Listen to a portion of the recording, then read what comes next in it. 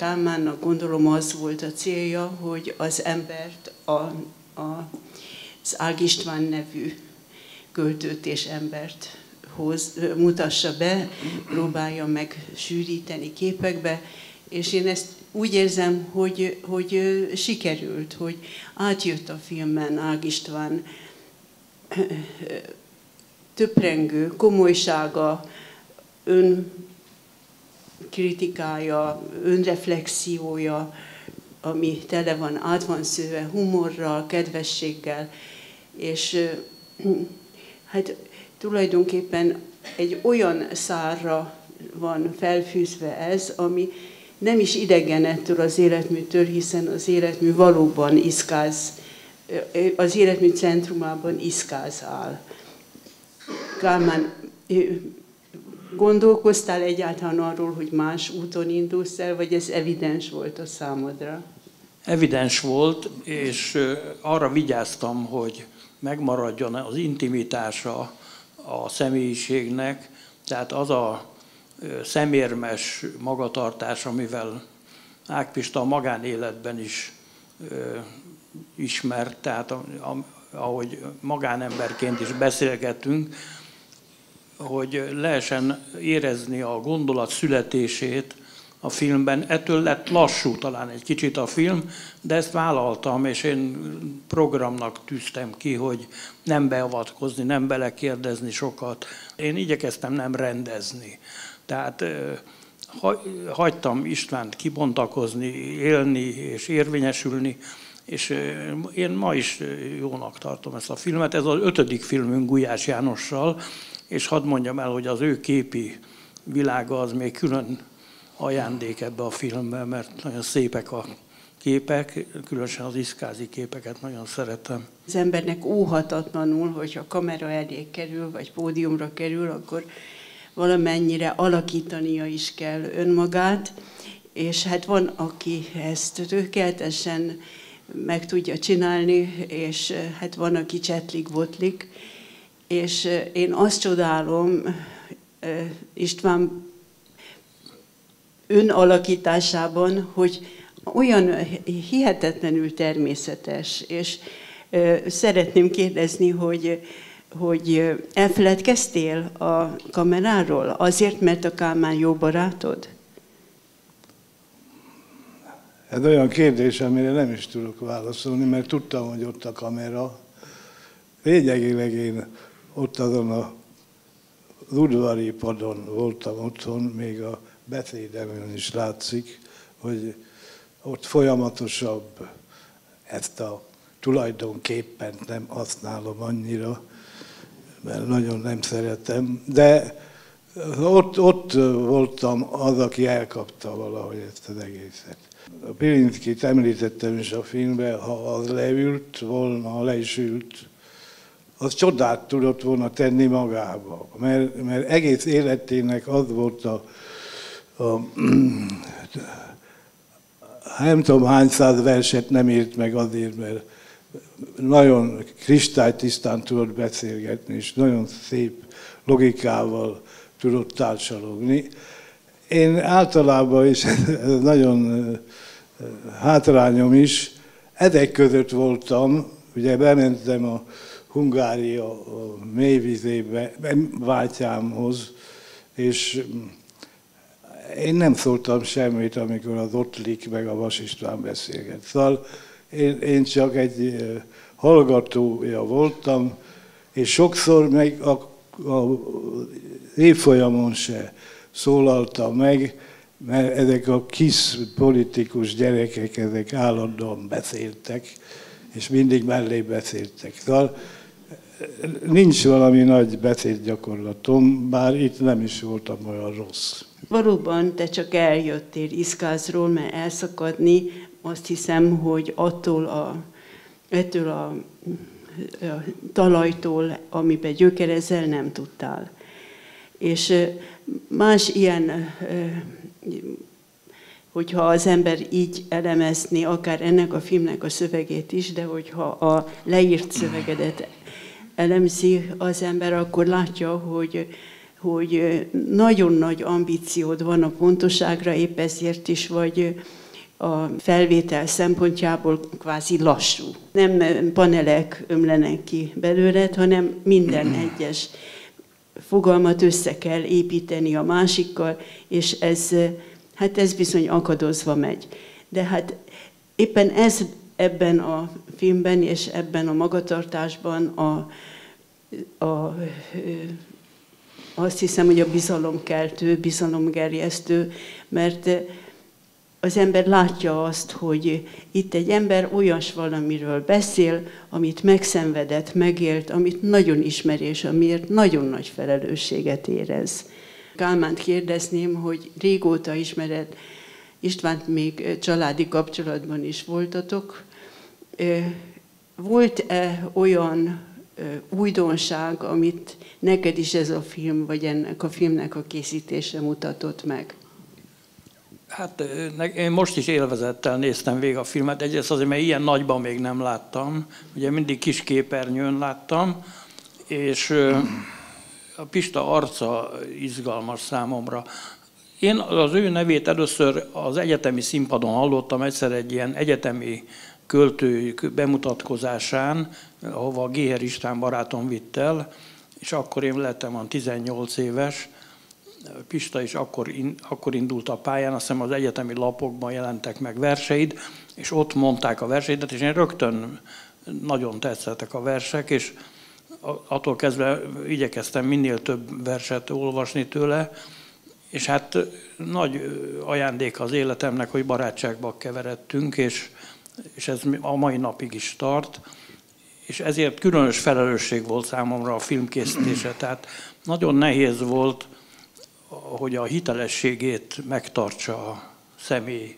Tehát a, a, én korábban ugye a televíziónál dolgoztam, nagyon sok interjút készítettem, soha nem szerepeltem a képernyőn, mert igyekeztem a kérdéseimet kivágni. Mindig azt szerettem volna, hogy a, az interjú volt személy, az mint egy vallomásként monológot mondjon magáról, és ezt tulajdonképpen ezt a technikát követtem most is, mert csak a legminimálisabb lökéseket adtam meg a, a Pista szövegéhez. Pistából úgy látszik, ez egy direktben, direkt vallomásként kell ezt a filmet felfogni. Én úgy gondolom, hogy ez így marad meg akkor az örökké valóságnak. És hát róla szól a film, nem a, család, de a családról is természetesen, és hát egy csodálatos család, egy olyan család, amelyik két ilyen nagy költőt adott a hazának, az mindenképpen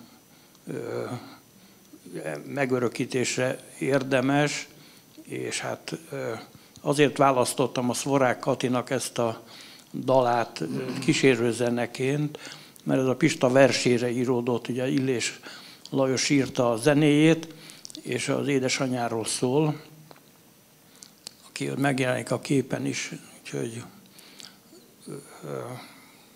ennyit, én ennyit szeretnék mondani, hogy a, a, csönd, a csöndjei a filmnek, és a gondolat születése, és ugye Vörösnek van a doktori diszertáció, a vers születése. Azt reméltem, hogy egyszer még laikus számára is kiderül az, hogy hogy születik a vers a költő íróasztalán. Olyan közel éltünk egymáshoz éveken keresztül, hogy, és közel kerültünk egymáshoz, hogy én úgy gondolom, hogy ez benne is van a filmben valamilyen módon, mert én állítattal hallgattam, amit mondott. Hát én azért mondok hiányt. Nekem hiányzott belőle annak a felvillantása, hogy hogy a Pista azok közé a nagyon, szóval tényleg azt lehet mondani, hogy párját ritkító írók közé tartozik, aki más írókat, fiatalokat is rendszeresen olvas. Nem csak kritikákat írt pályatársakról, nagyon jó elemzéseket, méltatásokat, ami szintén nem gyakori manapság, mert manapság már mindenki csak saját magát olvassa. A, de tényleg hogyha utazunk, most is voltunk együtt Szerbiában, hosszú autóbuszúton, hát kiderül, hogy abszolút fiatal szerzőket is, regényeket is, mindenfélét ismer, olvas, odafigyel. Hát ezt azért legalább itt ennek a közönségnek szerettem volna megmondani, mert ezt nagyon fontosnak tartom. A másik apróbb, ennél apróbb hiányérzet, és az valami rejtett formában azért jól olvasható a filmből, az, hogy amit Pista a Füst Milánnal kapcsolatban elmondott, hogy miközben valóban az életművét szinte mementónak is, életműve nagy részét a falu a parasztság mementójának lehet tekinteni, a közben ő a gondolkodásában, magatartásában egy rendkívül modern alkotó. Számodra mondott-e rólad újat a film? Egyrészt, másrészt meg mi az, amit hiányoltál? Hát természetesen újat nem mondott, de a, a, mint mű azért egy teljesen új élmény. Mert az, hogy én ott a udvaron ülök, és az a mohos asztal szinte folytatódik, mint egy szövet, mint egy kárpit fekve az egész környé, udvaron, és én ott a közepén mondom, mondom a magamét, mint a örökké azt mondanám, és ezek nagyon megható élmények nekem, hogy találkozom ezzel a világgal, magammal ott, ahol voltam. Azok a fák, ha emlékeznek, hát ilyen gyönyörűek, tehát ennek a felvételnek muszáj is volt ott lenni. De én azért több réteg, de egy film ez. Most hát nem, nem kell többet csinálni, de nem nagyon jeleztem, hogy én nekem van egy alaphelyzetem a világgal, szemben ez az 56-os parlament Kossuth sortűzbe való bele sodrásom, sodródásom. Hát áldozata voltál. A, a halott, halottak másztak azon a részen, ami a legszörnyűbb hely volt, a kettes megállója és a, a metró építkezés földhányása. Ez, ez nekem annyira meghatározó, hogy ez az egész jövőmet, világképemet befolyásoltam, mert tudtam, hogy kik vannak itt. Na most ez egy más dolog. A harmadik is lehetne még ez az intellektuális világ, amiben azért ott van legalább 6-7 ezer könyvem, ami túlzás. De mégis szóval ezekkel én viszonyban vagyok, nem ott vannak. Az én könyveim azok használatban vannak még akkor is, ha az internet mindent valamiképpen, mintha kielégítene. Szajoko Kinosita, a Hiroshima Fesztivál igazgatónője, egy nagyon híres fesztiválról van szó, ugye Japánban, és azt mondja nekem, hogy tudod, hogy miért lettem én rajzfilmes? Mondom, nem. Mert látom annak idején a Sisyphus című filmet, és elhatároztam, hogy rajzfilmmel fogok foglalkozni. Hát ezek után megkérdezem, hogy három évvel ezelőtt készült ez a film, azóta mit csináltál, mivel foglalkozol? De hát nagyon soká tart, ha elkezdem sorolni. Köszönöm a filmet mindenek előtt. Aztán hát mit csinálok? Jelen pillanatban eh, talán ez a párhuzamosan két dolog, mindig egy rajzolás van, és mindig egy, egy írás van. Az írás az most hosszú idő óta elsősorban a Méri Gábor által sorozatban kiadott felvidéki templomokról szóló albumok szövege. Ez, ez egy ilyen stabil, visszatérő munkám, minden évben egy album. Most attól félünk, hogy az utolsó lesz, mert hogy nem találunk már olyan templomot, amiben a templomban elég oltár van. A másik pedig egy, szintén a Méri Gábor fölkérésére csinálok egy, egy könyvet. Ez tulajdonképpen egy képregény, de nem regényszerűen földolgozandó anyagot tessék elképzelni, hanem politikai karikatúrák sorozatát Trianonról. Ez a két nagy munkám, és ami most már záró fejezethez ér gyakorlatilag holnapon a zene felvétele, a filmben is említett harmadik Béla királyról szóló történetnek, ami egy mintafilm, ugye az Árpádházi királyokról szóló sorozat, és nekem az abgangot jelenti, mert ezzel akármennyire nem örülnek kifelé, én befejezem a rajzfilmmel való foglalkozást. Á, lombágóm van, tessék megérteni. Köszönöm szépen. Valójában egy kitűnő filmet láttunk, nem csak szerkesztés és riporteri kérdések, de a kompozíció szempontjából is átjött, amit szerettél volna. Kérdezem, valójában átjött?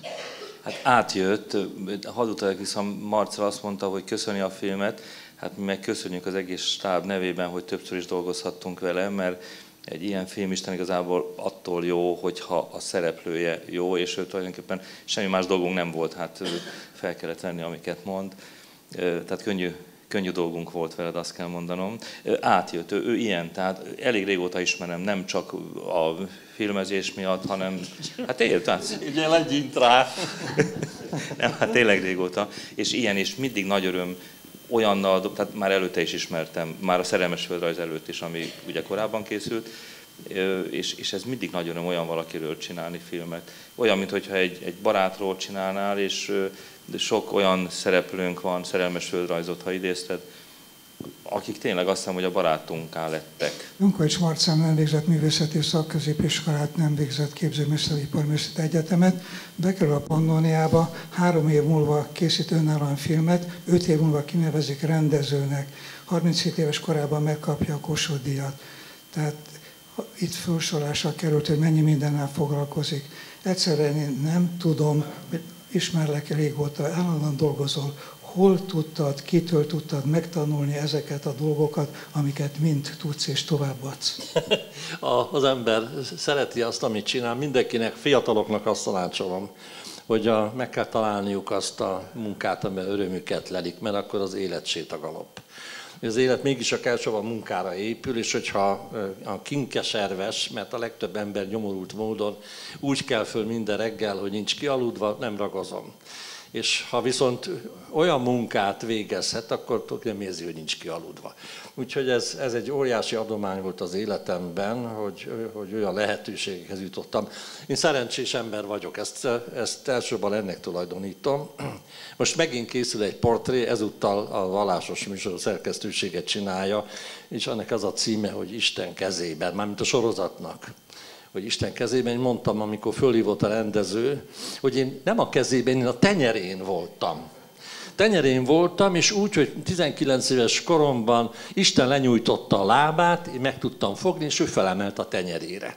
Na, hát ez, ez a dolog egyik oldala. A másik, amit dr. Matolcsi György, az öregebbik, akiről itt nyilatkoztam kritikusan, ő mondta, nem nekem, hanem a feleségemnek, hogy a Marcel a töredék idő kihasználó világbajnoka.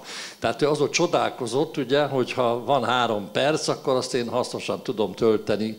Ezért utáltam mindig buszmegállóban, vagy pályaudvaron várott, nem lehet semmit se csinálni. Na hát szóval ez, ez a két dolog, két dolog működtet, és az iskolai végzettség az, az, az vagy, vagy hasznára válik az embernek, vagy nem. A Panoha már érettségizni, az fölér egy mai bölcsészkari végzettséggel. És hát nekem mondjuk a, mellékesen a, a bölcsészkart is el kellett így a gyakorlati életben végezni, mert pofátlan módon ugye olyan dolgokkal is foglalkoztam, foglalkozom, amelyik ebbe a kategóriába tartozik.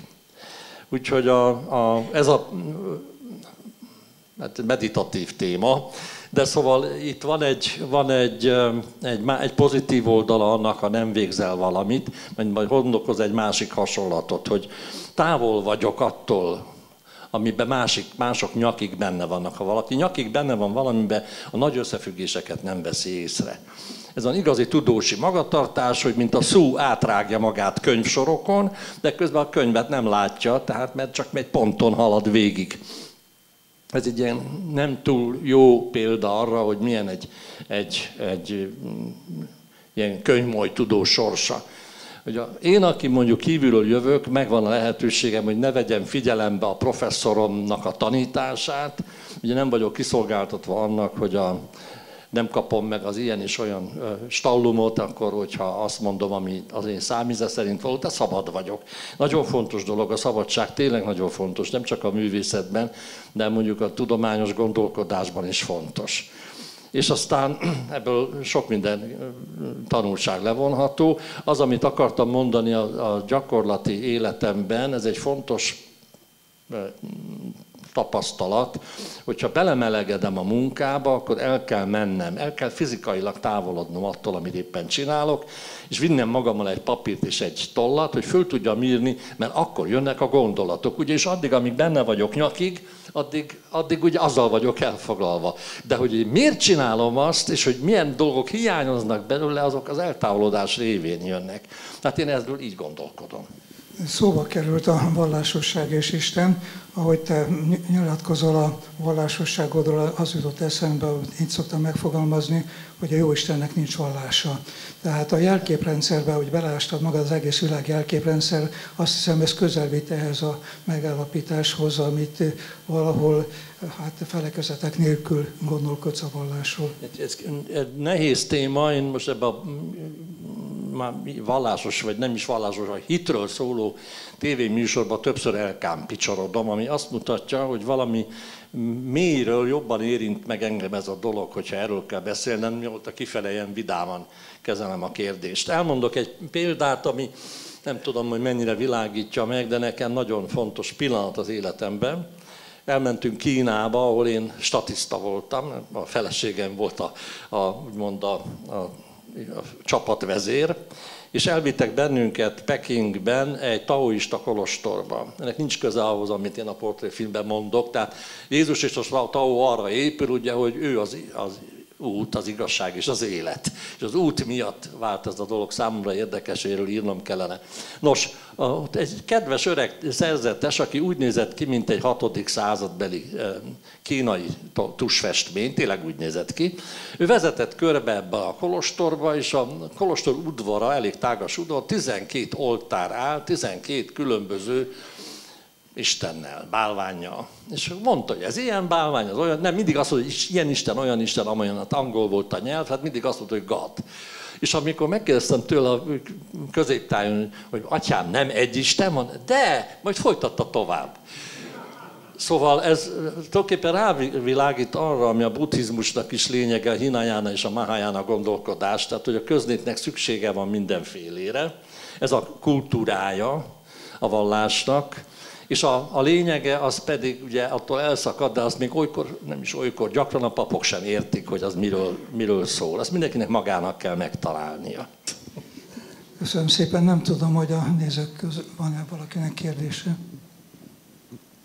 talán egy élményt ragadjon ki, amit talán hirtelen így eszébe jut. Valami olyanról egy gyerek, egy, egy, egy idős, egy felnőtt, ami a köznép, ami, ami valami úgy, úgy egy visszajelzés, valami, ami megérintette, ami nem a hivatalos díjak, hanem egy szó, egy történet, egy sztori. Valami ilyesmire szeretnék rákérdezni a múltból. Hát ez nagyon egyéni és egy változékony. Az első olyan filmem, ami mondjuk nevezhető egy filmversnek a mély víz, az úgy született, és ez majd példázni is fogja a problémámat, magammal való problémámat, hogy egy hölgy oda, Zsitva Katalinnak hívják, fölírtam a főcímre, a Fiatal Művészek Klubjába, a pohárba kapaszkodva ott állok, oda jött a hölgy, és azt mondja, hogy képzeld el, a fodrásznál voltam, víz ment a fülembe, és azt éreztem, hogy valaki segítségért kiabál megcsináltam filmben. Ez nem, nem az én ötletem volt, hanem megcsináltam filmben, mert megragadott. És hát a, erre tudnék példákat. A Sisyphus az tulajdonképpen azért készült el, mert az egy irdatlan 22 hónap volt, ami a János Itéz munkája volt, és úgy gondoltam, ezt meg kell örökíteni. Tehát az, arra akarok kiukadni, hogy én egy kívülről vezérelt művész vagyok, én nem vagyok zseni. A zsenik azok belülről vezéreltek, mindig belülről tör ki belőlük, és van köztük olyan zseni, akit a világ elismer, és van köztük dilettáns.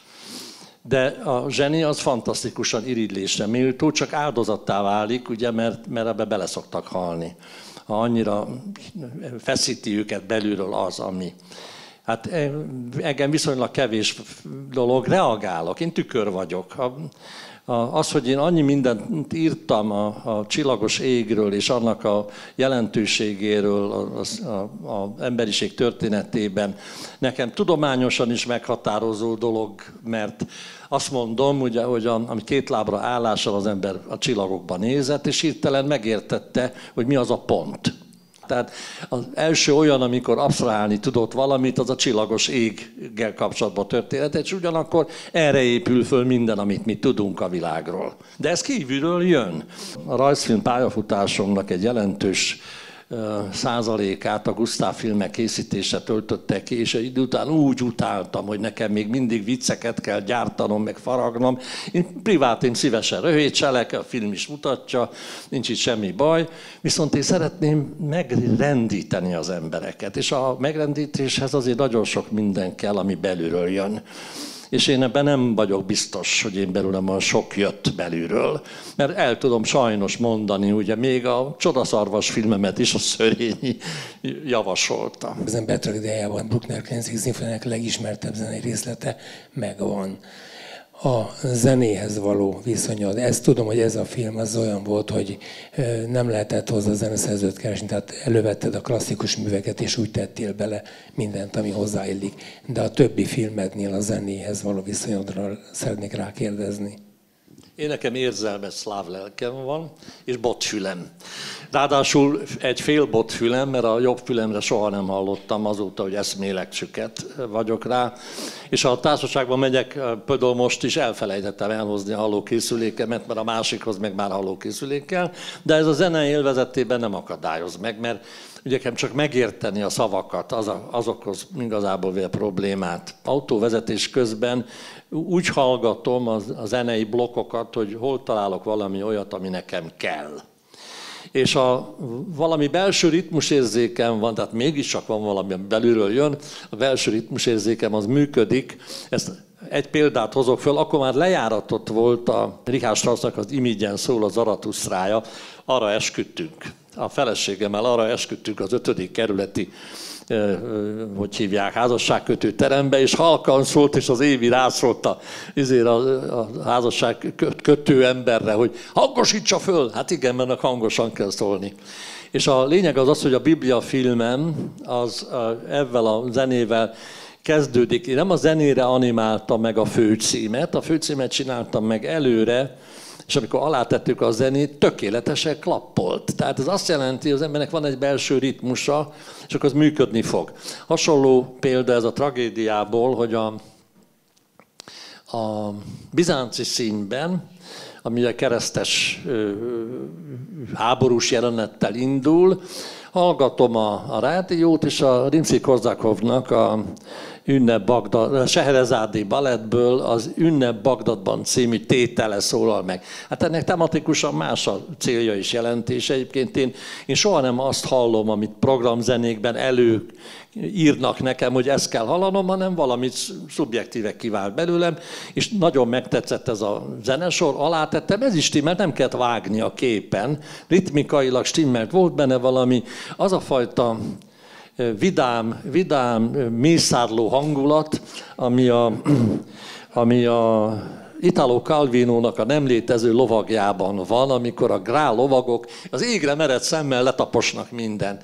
Én ezt a fajta kettős látást nagyon fontosnak tartom, ez benne van a lopok ám, elszánta a lopok, tehát például az, amikor a Lucifer és Ádám a lóhátról így meditálnak azon, hogy mit, milyen fontos a térítés, akkor közben ők taposnak ott rendesen, ilyen kis egyszerű parasztokon. Köszönöm szépen, de azt hiszem az időnk lejárt. Október 21-én leszel 75 éves, én kívánom mindenki nevében, hogy még nagyon sokáig dolgozhassál és élvezhessük a munkádat.